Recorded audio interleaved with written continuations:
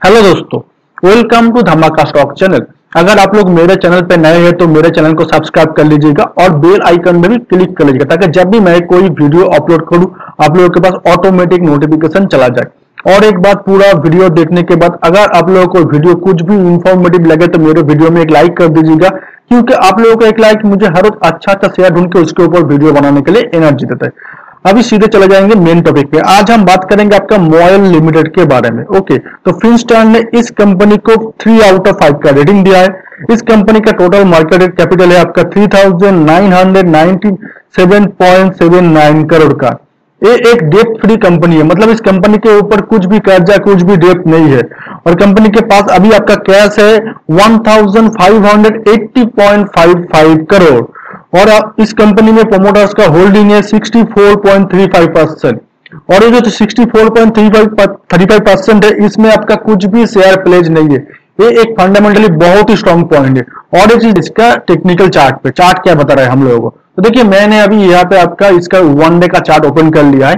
तो देखेंगे तो ये शेयर आपका लगभग ऊपर गया था 200 के करीब। उसके बाद ये शेयर आपका फॉल हुआ था, आपका 156 के करीब। उसके, उस बाद से ये शेयर आपका ऊपर की तरफ़ ही जा रहा है।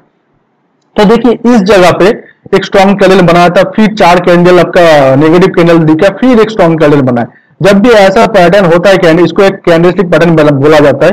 जब भी ऐसा पैटर्न होता है, आपका शेयर ऊपर की तरफ़ जाता है जाता है। और देखिए, लगातार चार दिन से ये शेयर आपका अप ट्रेंड ही है। अभी हम लोग क्या करेंगे थोड़ा सा इसका इंडिकेटर लगा हुआ डे चार्ट भी देख लेंगे। तो देखिए, इस कैंडल में सुपर टेन ने बाई सिग्नल दिया है। एमएससीडी यहाँ पे क्लियरली डे चार्ट में बाई शो कर रहा है। आरएसआई भी आपका 60 का लेवल टच करने वाला है, थोड़ा ही दूर है। और इस जगह पे देखिए प्राइस अभी आपका ऑलरेडी 200 डेज़ का मूविंग एवरेज को तोड़ चुका है और मुझे जो लगता है बहुत जल्दी 50 डेज़ का मूविंग एवरेज भी तोड़ देगा।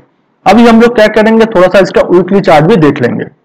अभी देखिए, बिना इंडिकेटर लगा हुआ मैंने वीकली चार्ट ओपन कर लिया। ये शेयर आपका नीचे गया था एटी नाइन नाइनटी के करीब। उसके बाद से शेयर अप टेन में है थोड़ा बहुत कॉन्सोलिडेट हुआ, लेकिन फिर अप टेन ही है। यहाँ पे हाइस गया जैसे बताया था 200 दो 200 के करीब।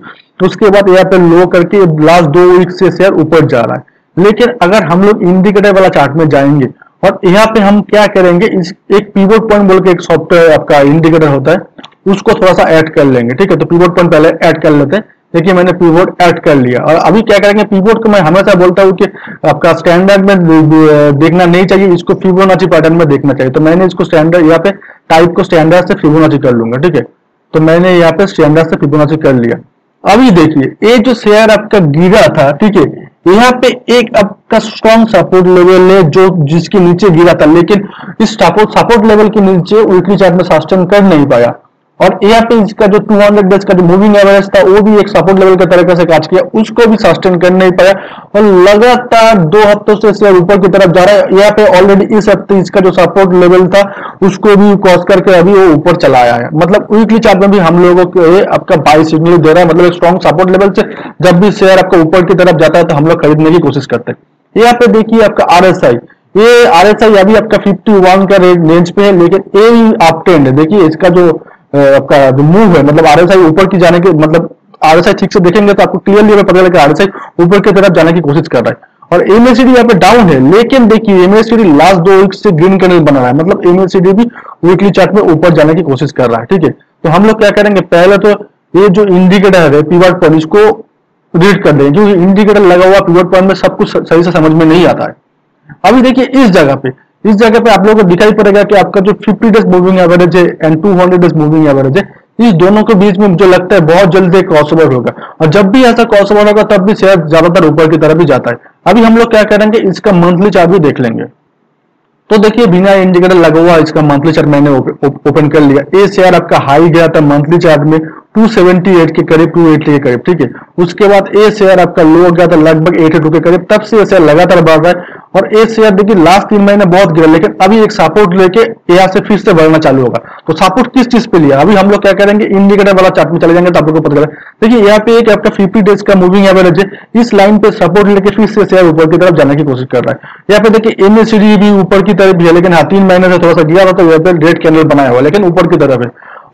आपका आर एस आई देखिए गिरा था, लेकिन फिर से बैंड करके ऊपर की तरफ़ जाने की कोशिश कर रहा है। मतलब फंडामेंटली ये शेयर स्ट्रॉन्ग है ये शेयर डिविडेंड भी देने वाला है, और ये शेयर अभी टेक्निकली भी स्ट्रॉन्ग सपोर्ट लेवल पे है।